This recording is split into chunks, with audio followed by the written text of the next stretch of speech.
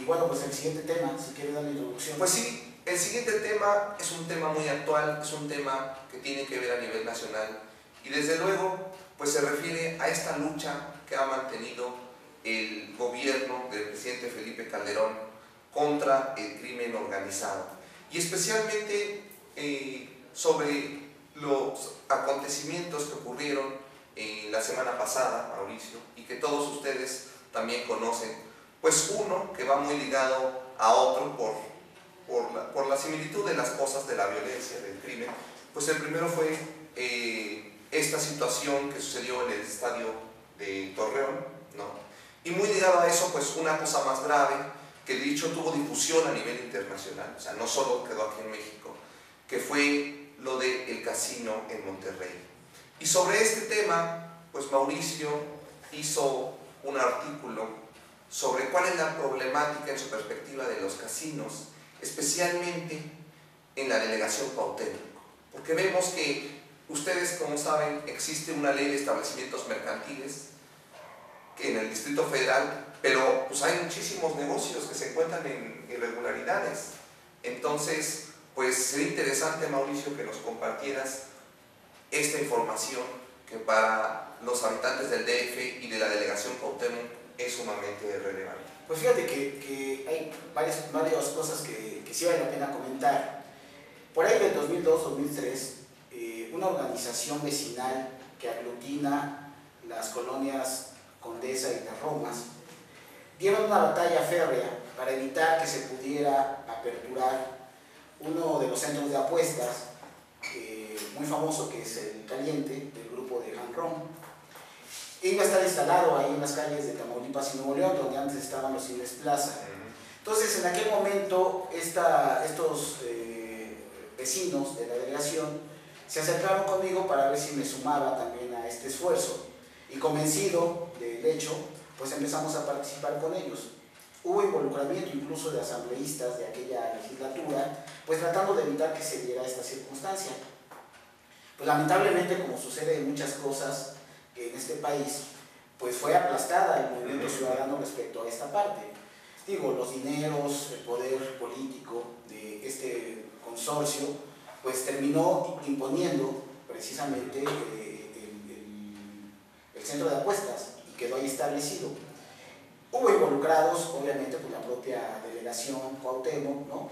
en donde en una primera instancia, haciendo uso de, la ley de establecimientos mercantiles y todo esto, pues hicieron una clausura, pero posteriormente con acciones reguleyas de todos estos grupos pues lo echaron a andar. Y bueno, eso en esos años. Ahora, pues nos acabamos de enterar que en realidad muchos de los eh, centros de apuestas, que los casinos no deben de existir. La ley que data de hace casi 40 años, un poco más, eh, no tenía, bueno, tenía su reglamento, pero lo que hizo hábilmente Vicente Fox y Santiago Krill es habilitar un reglamento. Estaba la discusión por si iba a permitirse o no la situación de la instalación de los casinos. Sin embargo, ellos hábilmente lo que hacen es generar un reglamento y en automático con eso hacen la, apertura de estos centros de apuestas. Recientemente escuché a Santiago Krill en una entrevista con Carmen Aristegui, en donde ella, él lo que decía es que, bueno, de todas maneras estaba eh, eh, la parte ilegal, ¿no? Eh, todos los centros de apuesta, todo lo que quisimos fue darle una reglamentación, pero lo que no se vale fue el albazo, porque por un lado estaba esta discusión en la Cámara de Diputados y de Senadores, y por otro lado se genera este reglamento.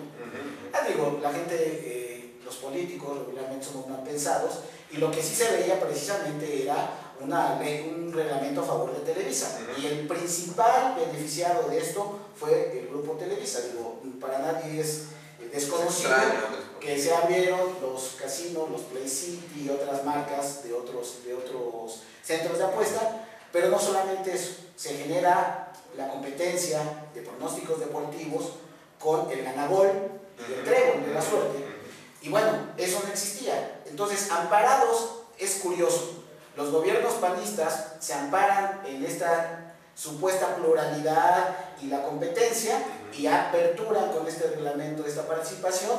Sin embargo, en algo específico como es la televisión, le dicen a que no puede ir a la apertura, es decir, un doble discurso maniqueo que permanentemente los gobiernos panistas han tenido.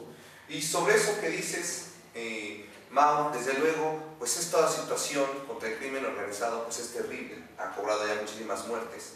Y pues sin duda fue algo dramático lo que pasó en el casino de Monterrey, pero se ha oído la constante, por, parte del discurso presidencial, pues se ha oído, es que ya son terroristas, la violencia de estas personas, pero como tú bien dices, algo que no se ha visto en el análisis del gobierno, en la autocrítica que debería tener el gobierno, es esta parte de, bueno, ¿por qué estaba en una situación irregular ese casino? Porque a lo mejor eso no hubiera pasado si las salidas de emergencia hubieran estado donde debían de estar, como debían de estar, estaban cerradas. La gente que murió adentro, muchas de ellas, fue por asfixia. O sea, entonces, dentro de esta lucha del crimen organizado, sí existe un problema entre criminales y el gobierno federal. Pero también está la responsabilidad en este caso del gobierno federal, como en las guarderías de ABC. Sí, yo, yo, creo que hay diferentes niveles en donde corresponden las diferentes responsabilidades. De entrada, el reglamento dice que deben de tener un censo de todos los eh, dueños de estos centros de apuesta. Era, ya había pasado más de una semana y no tenían la definición de quién era la persona concesionaria. Y ciertamente pasó igual que con las guarderías ABC, que pasa el tiempo y no se decide, porque no está el censo actualizado, increíblemente, de quién tiene la responsabilidad de ese centro de apuestas. Y desde luego que atraviesa a nivel municipal por todo el análisis que tiene que ver con el programa de protección civil. Es decir, hay una cadena de complicidades de corrupción eh, por omisión o por acción corrupta en donde eh, lamentablemente si a alguien le gusta la apuesta, porque aquí el, tema es, eh, no hay que escandalizarnos que haya gente que le guste ir a apostar, en absoluto, ¿no? O sea, aquí el asunto es que tiene que tener la garantía de asistir a un lugar en donde se encuentre eh, con las condiciones adecuadas, porque olvidémonos el hecho, que es, hay que separarlo, el hecho criminal hay que separarlo de la acción de ese momento. Porque pudo haberse incendiado por otra condición. Exacto. Y hubiera pasado algo similar. ¿No? Ahora, respecto a la parte criminal, desde luego que nosotros como movimiento ciudadano lo que planteamos es precisamente que pues, es denostable ¿no? que haga una acción criminal esta, e, esta acción. Eh, sin embargo, también nosotros hemos insistido en que tenemos una visión diferente de cómo abordar el asunto narcotráfico, que hemos insistido, algunos de nosotros, en pensar que no solamente son estas acciones, el presidente pareciera ser que los que no piensan como él, estamos en contra de él y eso no es cierto. Lo que no vemos es acciones que tengan una acción concreta en lavado de dinero. ¿Cuál será el motivo de no entrarle por ahí?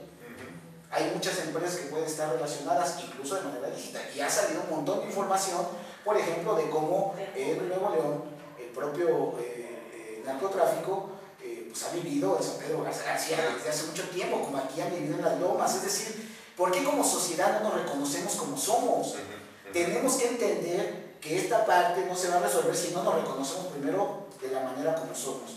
Porque ahí todos somos culpables. Todos somos culpables, unos más, otros menos, al menos como sociedad, pero todos lo somos. Y qué bueno que lo dices, Mao, porque yo creo que podríamos concluir que, desde luego, para resolver este, este tema, esta difícil lucha contra el crimen organizado, pues efectivamente hay responsabilidad de las autoridades, pero también de nosotros como ciudadanos. Es decir, nosotros yo considero que, coincido contigo, no nos podemos quedar en la apatía ¿no? de esperar a ver también cómo las autoridades resuelven por sí solas. ¿no? También tenemos que exigir esas condiciones.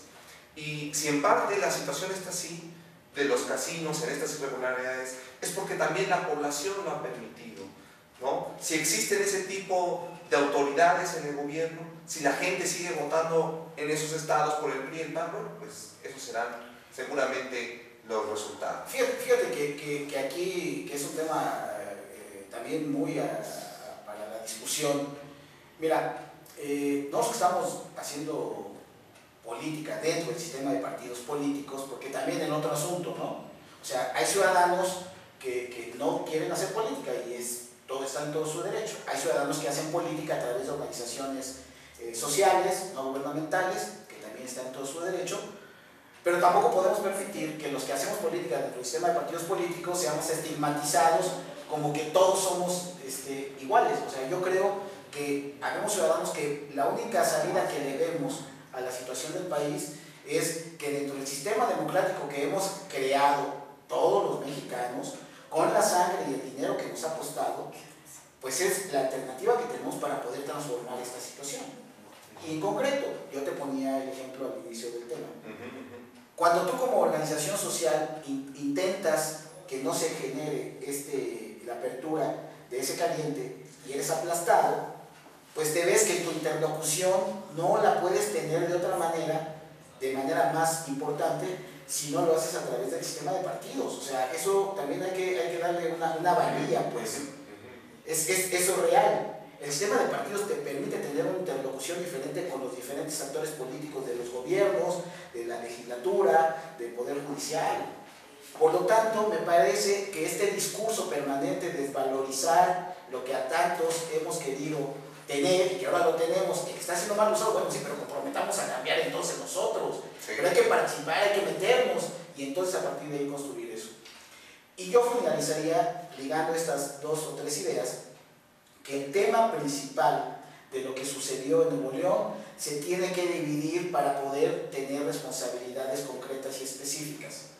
Un asunto es por qué estaba aperturado un centro de apuestas cuando no cumplía con el reglamento. Otro, ¿por qué se otorgó la concesión y luego no estaban actualizadas? Sale el subsecretario de Gobernación, ¿no? Este, escupiendo para arriba. O sea, es absurdo. Él va incluso a Nuevo León para ver por qué no está, este, cuando ellos son los que otorgan los permisos. O sea, es absurdo. Y un tercer elemento que tiene que ver con el asunto este, del narcotráfico, ¿no? que si era una situación de renta, a eso hay que tratarlo por separado de tal manera de que podamos encontrar las responsabilidades que por favor sí, ahora esperemos, no como el asunto del ABC que ha quedado pendiente, que se resuelva y que en automático se tenga algunas sanciones a quienes corresponden, del orden que sea. ¿no? Ahí sí, del orden que sea y en correspondencia. Es que hablaría sobre este tema. Ok, pues muy bien.